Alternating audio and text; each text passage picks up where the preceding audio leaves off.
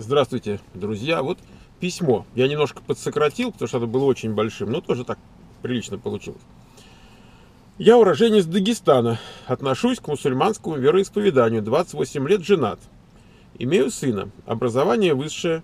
Бухгалтер. В 2011 году переехал в Москву. Начинал с охранника, дорос до специалиста контрольно-ревизионного управления. Русским языком владею прекрасно, английским на очень начальном уровне, но чувствую, что он дается. Доход 55 тысяч рублей, в скобках 887 долларов по нынешнему курсу. 62 рубля. Минимум половина сразу за жилье уходит, однушка на окраине. Жена 24 года, педагог начальных классов с уклоном на английский язык, сыну 2 года. Вы прекрасно знаете, каково жить в России честному человеку, неславянской национальности и вероисповедания. Эти косые взгляды, полные ненависти, шовинизм, фашизм, попытки обвинить во всех бедах русского народа, предвзятость полиции, уже несколько раз ни за что забирали в отделение, нетерпимость в государственных учреждениях и прочее. Могу много чего перечислить. Я не выдумываю причин уехать отсюда, Михаил, у меня их на самом деле достаточно. Меня притесняют по национальному и религиозному признакам, мне не дают маломальские кредиты – только из-за места рождения. Мне стоило огромных усилий найти жилье из-за национальности. Я не могу сказать лишний раз, что я мусульманин, потому что ассоциируют с террористами, хотя я в жизни мухи не обидел. Что мне делать? Я хочу уехать в США, но не имею возможности. Мало денег, маленький ребенок, надежда на грин-карт лотерею.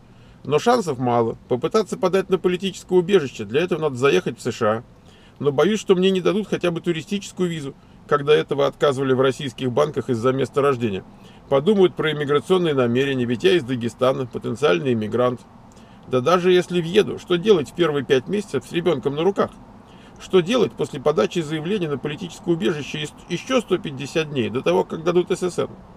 Это крик души, Михаил. Я чувствую себя в ловушке, за железным занавесом, в тюрьме народов. Я хочу уехать туда и вкалывать за достойную плату, за благо цивилизованного мира и не оглядываться, чтобы не назвали чуркой или бандитом, не воткнули нож под ребро местные фашисты или вообще не повязали за оппозиционные взгляды.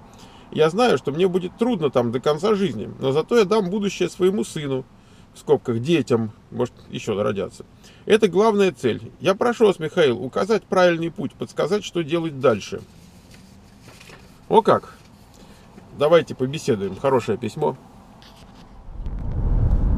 Да, друзья, значит, я предвижу, что э, те, кто слушает э, э, э, это письмо, как, как я его прочитал, э, скажут многие, ну а что же, в конце концов, ну не обязательно же ему жить в Москве. Ну вот жил бы в Дагестане, например, там же его никто косым взглядом там не проводит за то, что он дагестанец. Эм, и, или мусульманин, да, казалось бы, вот самое место, там, живи у себя на родине, слава богу, у тебя родина есть. Я, я так подозреваю, что ему там тоже некомфортно. То есть, я уже не знаю в силу каких причин. Безусловно, не потому, что он там дагестанец, и не потому, что он э, мусульманин, а еще почему-то. Может быть, там работы нормальной нет. Э, может быть, там какие-то клановые э, структуры всем заправляют, и он не хочет, не может не, как бы быть в этих клановых структурах. Э, тоже возможно там как бы. Да. То есть хочет человек просто жить и жить. Э, ну вот примем как данность.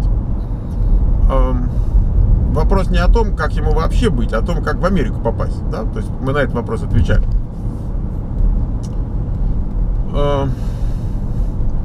Если денег нету, например, ну плохо с деньгами, действительно, если зарплата там 850 долларов и из них половина уходит на жилье, эм, понятно, что от второй половины тоже так много сильно не останется, потому что три человека семья, это им еще пропитаться надо, помимо того, что они платят за жилье, и транспортный расход, там, и одеться надо, в конце концов, тоже голым не пойдешь. Поэтому, э, скорее всего, они вообще ничего отложить не в состоянии. Ну, даже если он 100 долларов отложит в месяц, то это тоже, тоже не вариант. Значит, э, то есть он не может накопить на отъезд вот при такой зарплате. Хорошо, идем дальше.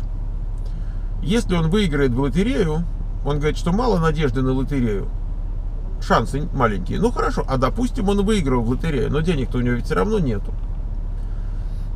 Конечно, если он в лотерею выиграет, то он может добраться до США. Мы сейчас не говорим о том, сколько это ему станет, визы получить, там, э, билеты купить. Ну, ну, допустим.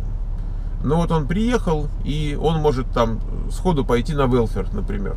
Ничего страшного в этом нет. То есть в этом нет ничего хорошего, но, но в общем-то ничего страшного нет. Ну, ну хорошо, так они пошли на велфер. У них тут же будет там страховка на семью, э, там на ребенка самое главное. Э, вот и все такое. Он, он может э, пойти начать работать, и, собственно, даже если он ну, не, не обладает какой-то такой расхожей специальностью, он может пойти на стройку. Молодой парень.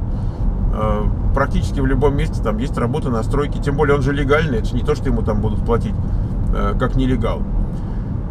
То есть, но все равно, все равно какие-то деньги ему нужны. То есть, если он до страны добрался даже с лотереей, то есть с таким простым путем, все равно ему нужны какие-то деньги на то, чтобы доехать, на то, чтобы приехать в страну, ну, я не знаю, не с десяткой, а все-таки как-то он же должен где-то поселиться, прежде чем он первую зарплату получит, даже если он на, следующий день будет на работу. Ему же надо где-то прожить, ну, хотя бы месяц. Поэтому непростая картинка. Конечно, люди выкручиваются. Ну, как выкручиваются? Вот, допустим, он э, поехал вперед один, они выиграли грин-карту, он поехал вперед один, и там за несколько месяцев там он заработал какую-то копеечку, там снял жилье, и дальше уже жена с ребенком подъехала, это бывает часто такое. Хотя мы понимаем, что такая ситуация нарушает правила игры э, в лотерею грин-карт. То есть человек не может приехать э, в страну без денег. У него должны, должны быть деньги хотя бы на первое время. И это одно из требований, как бы, да, то есть они не хотят людей, которые сходу пошли на, на бенефиты, там, социальные программы, и как бы у них нет возможности там заработать, подработать сразу и так далее. Вот, поэтому, ну, мы, мы понимаем, что, что тут дело такое. Вопрос жизни и смерти, там мы не мелочимся. Ну, хорошо, вот такая история. Второй вариант, у него нету у него нету выигрыша в грин-карт лотерею, у него нет никакой вообще легитимности. Э, он, конечно, прав в том смысле, что надо еще визу получить э, в США. И дело не в том, что он дагестанец а, и как бы потенциальный там мигрант или иммигрант. Я не думаю, что их там сильно эта часть занимает, но они смотрят на всех людей через призму того, э, какой шанс, что человек вернется. Есть ли у него работа приличная, есть ли у него свое жилье, есть ли у него там доходы, какие-то семья в виде заложников, там, ну что-то такое у него есть или нет. Поэтому он может, конечно, поработать со специалистами, которые его будут там какое-то время упаковывать для получения визы. Потом получит шенген, съездит пару раз куда-нибудь. И все это стоит денег, между прочим, тоже не бесплатно. Вот. Ну, я, я думаю, что вопрос получения визы решаемый. Допустим, вот ее как-то получит эту визу. Он может поехать один. Но дальше что получается? Если он поехал один, э, это несложно, да, то есть он, он приехал, даже неважно, сколько там у него денег есть, э, там на второй день пошел работать на стройку, на третий, на четвертый, на пятый, вот. И уже начинает зарабатывать какую-то денежку. У него, конечно, нет денег на адвоката, но он может заработать. Не, тоже не за день, не за два, не за три. Но есть адвокаты, которые в рассрочку берут, там сначала там что-то, а потом дальше пошло и поехало. Поэтому это как бы вариант. Но, но дальше что получается? Он оставляет жену 24-летнюю э, с маленьким ребенком двухлетним там, может быть, тому времени уже трехлетним. Он, конечно, может посылать им там, не знаю, там, какие-нибудь 500 долларов, там 600-700 э, в месяц на жизнь, что, в общем-то, достаточно реально, даже будучи нелегалом. Тогда у него э, сложнее накопление образуется для того, чтобы идти к иммиграционному адвокату и так далее. Ну, допустим. Но ситуация в том, что он молоденькую девочку оставляет одну с ребенком, и увидятся они непонятно как скоро. То есть, э, ну, что там может получиться, я не знаю. Но года три как минимум. Минимум три года. А дальше это может быть и 4, и 5. Ну и как они будут? Понимаете? Это тоже такой семейный вопрос, очень серьезный. Они, конечно, могут сговориться, они могут, если жена его очень сильно поддерживает в этом плане, она говорит, давай. Она может, в конце концов, из э, Москвы уехать куда-нибудь в Дагестан, где подешевле, и растить там ребенка пока там, пока он тут устраивается, например. Это будет по деньгам лучше. Ну, в общем, теперь, если такой вариант, что каким-то чудом я не знаю, как это чудо произойдет. Вот, ну так, вот, помолиться там, допустим, какое-то чудо произойдет. И дадут им визу на троих. Вот они втроем поедут. Значит, он 28 лет, жена 24 года, ребенок 2 года. Поехали они, я не знаю куда, допустим, там, Диснейленд смотреть. И подают они на политическое убежище здесь. Ай, эм, а, а жить-то как? Вот на какие шиши? грубо говоря. Э, то есть он теперь должен, работая нелегально, содержать э, себя, жену и ребенка. Он уже не может э, с румейтами там четыре человека в двухкомнатной квартире там за маленькую денежку проживать. Он теперь должен с женой с ребенком, ему квартира нужна. То есть, ну, я не знаю, где он конкретно пристроится, так где подешевле. Ну, допустим, он где-то подешевле пристроился. И ему эта квартира будет стоить, ну, может быть, 800 долларов не знаю, 600, самая дешевенькая, может быть, 600. Я не знаю, где-нибудь в Сакраменто, он там 650, 700. Э, в Нью-Йорке, я не знаю. Э, он заработает, там опять, на стройке. Э, жена должна будет, ну, к своему ребеночку там брать, может, каких-то еще соседских. В принципе, женщина с ребенком вполне может подрабатывать тем, что она присматривает там за другими детьми, может быть, даже двумя детьми. Это очень здорово, когда свой ребенок есть, то есть уже человек там понимает, э, как с детками обращаться. Вот. Эм, они, в принципе, как сказать, не, не должны были бы пропасть. Да? То есть у них э, все-таки их два человека, и оба могут что-то заработать, даже нелегально. Другое дело, что им нужно все-таки на, накопить на услуги адвоката, но теперь уже вдвоем, уже теперь с расходами такими более серьезными. Но с другой стороны, их зарабатывает двое. Вот. Так что, если денежки у него такой начального стартового капитала нет, понимаете, одно дело, он продал квартиру, даже вот на ужасно невыгодных условиях и получил там 20 тысяч. Не знаю, где у него квартира была такая, но вот продал он ее. И все-таки, когда у тебя есть 20 тысяч, тебе хватит на некоторое время, тебе хватит там, ну, стартануть. Да, в недорогом месте тебе хватит на стартануть. Можно заранее сговориться там, а, куда поехать, где ребята там готовы поддержать, на первое время там присмотреть и так далее. Это, это все делается, это не так сложно. Русский язык у него действительно очень хороший. Вот, вот письменная речь замечательная совершенно. То есть вы никогда не скажете, что это человек с неродным там русским языком. Вот. Но у него английского нет. А у жены есть английский. Но, в общем, когда они получат разрешение на работу через там скажем, 7-8 месяцев. Хотя вряд ли 7-8 месяцев. 7-8 месяцев это если у них деньги сразу есть на адвоката. Вот когда они получат разрешение на работу, тогда будет немножко другая картина. Они смогут больше зарабатывать. Эм, они смогут, ну или там, скажем, они могут на велфер пойти э, с тем, чтобы страховку получать или там, ну, ну как-то они могут мудрить. Вот. Эм, мое соображение такое, что, конечно, мы знаем массу историй, когда люди приезжали, у них в кармане было 200 долларов, и они там все равно они не пропали, они устроились, но это когда у тебя, когда ты один. В крайнем случае, ну, там на автовокзале переночевал, там в туалете помылся, не, не big deal. Но когда у тебя жена и ребенок два года, тогда как? Эм, я, я не знаю, какие у него родственники. Может ли он, он у них одолжить там десятку-двадцатку там, в Дагестане, например. Я, я не знаю, чем они зарабатывают, есть ли у них такие деньги, поддерживают ли они его идею вообще переехать куда-то. Я не знаю, что у него за жена. Она, она тоже мусульманка, или, может быть, они ее не любят, потому что она не мусульманка. Я ничего этого не знаю. Но всякое дело, если оно не профинансировано адекватно, оно, в общем-то, обречено не, не в том смысле, что это гарантированный обвал, но почти гарантированный. То есть всегда есть какой-то шанс, какой-то случай, э, какая-то везуха такая невероятная.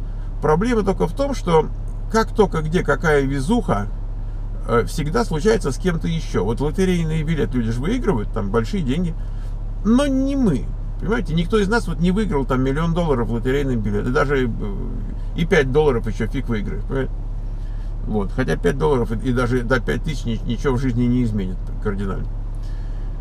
Так что, э, что тут сказать? Значит, они должны были бы в первую очередь понять, все-таки где взять денег на дорогу, на переезд. Помимо визового вопроса, помимо того, что он изучает английский, э, помимо того, что у него нет такой как бы расхожей профессии на первое время, хотя он мог бы где-то ее приобрести, я не знаю. Если бы он сейчас в Москве, например, пошел работать на стройку и приобрел бы какую-то хорошую рабочую профессию, строительную, а может быть он бы еще и больше денег зарабатывал, я даже не знаю. Поэтому тут, тут мне трудно судить, но он может в разных как бы аспектах э, подготовиться к тому, чтобы там совершить вот этот бросок, но вопрос, где взять деньги, остается, и у меня, конечно, ответа на этот вопрос нет. Я только знаю, что вот э, там масса народу зарабатывает неплохо. Я вот вижу, постоянно люди приезжают, знаете, как они так, допустим, кто-то приезжает там по Калифорнии погулять, заезжают, там, привет, привет, селфи сделаем. Кто-то приезжает уже, чтобы остаться и так далее. И я вижу людей, у которых с собой может быть и 20, и 40, и 50, и 150. Э, и больше тысяч. Эм, где они их берут, понимаете? При том, что они не продавали жилья еще, они вот просто так вот, у них есть. Эм, это тоже из Москвы. Понимаете? Понятно, что в Москве люди разного достатка, но я так издалека точно не могу сказать, как заработать. То есть вот, э, если бы тут были, да с разрешением на работу, да с английским языком, мы бы этот вопрос решили за несколько месяцев, там, за полгода бы решили а за год бы мы его очень кардинально решили. Но так, эм, я даже не могу сказать, иди там э, учись на тестера, будешь тестировать в Москве.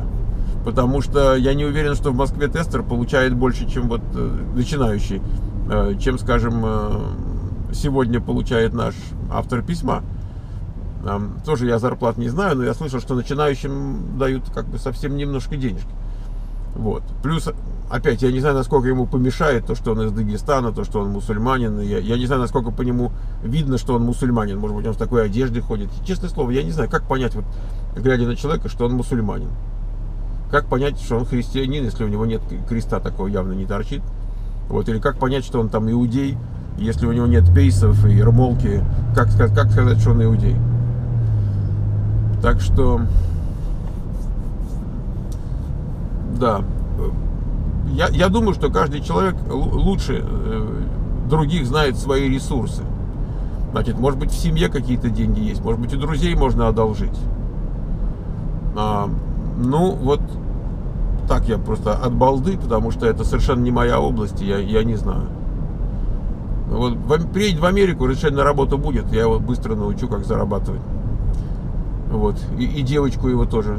Она молоденькая, английский хороший вообще как звезда полетит, будет зарабатывать. Вот. А, ну, эту часть мы оставляем ему для размышления. Если кто-то из ребят, кто нас слушает, а, в состоянии разумное что-то присоветовать, а, то я был бы, конечно, очень признателен. Я думаю, что все были бы признательны, включая автора письма. Или, так скажем, начиная с автора письма и оканчивая всеми теми, кто тоже интересуется. Вообще, действительно, где взять денег? А, потому что он работать же не отказывается. Так что, друзья, мы на этом месте с вами а, прощаемся. Я отправляюсь домой. Вот. А молодому человеку мы желаем успехов. И вот эта мысль его какая-то грустная прозвучала, что он знает, что будет всю жизнь тут в Америке пахать, Э, и пахать, и, в общем, многого не добьется, но вот дети его. Э, я хочу сказать, что я приехал не в 28 лет, а в 35, почти 35, ну, там, ну скажем, 34 с половиной. И я не могу сказать, что я там э, истрадался очень, и что э, как бы вот дети мои да, а сам я нет. Понимаете? Поэтому я бы уже не стал так себя хоронить-то. А в 28 лет еще столько всего сделать можно. 40 лет до пенсии еще американской. Вы что? А тут э, целая жизнь впереди, может даже и не одна, так производственная. Так что я, я бы не стал а, так пессимистично на это смотреть. Все, значит, мы прощаемся. Всем привет и пожелания успехов в начинаниях, в осуществлении э, тех мечтаний, которые у них э, есть. Так что за работу, товарищи, как э, писали на плакатах советских времен.